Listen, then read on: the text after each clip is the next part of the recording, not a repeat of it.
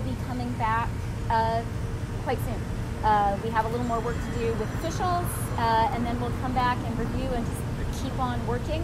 Uh, I would say, you know, this is a very, very uh, intense set of conversations, uh, and I continue to feel that there is a lot of goodwill on all sides. We continue to be the constructive atmosphere that I think both countries are bringing to the table. Uh, there is a lot of goodwill. It's a lot that we're trying to do. Uh, in a short period of time, we're working very intensely. Minister, how critical, Minister, how critical, how critical is it